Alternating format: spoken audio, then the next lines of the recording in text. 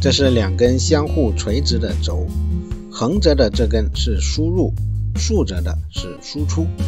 想要实现它们之间的传动，我们可以使用锥齿轮。但是很不幸，有一天这对锥齿轮被锤坏了。更不幸的是，这是在一个荒岛上，既没有备件，也没法再造一对齿轮。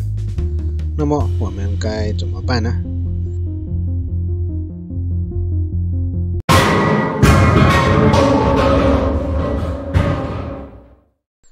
幸好手头还有一些简单的零件，我们可以好好的利用它们。只使用铰链连接的方式，将几根杆件连接起来，就能实现垂直轴之间的传动。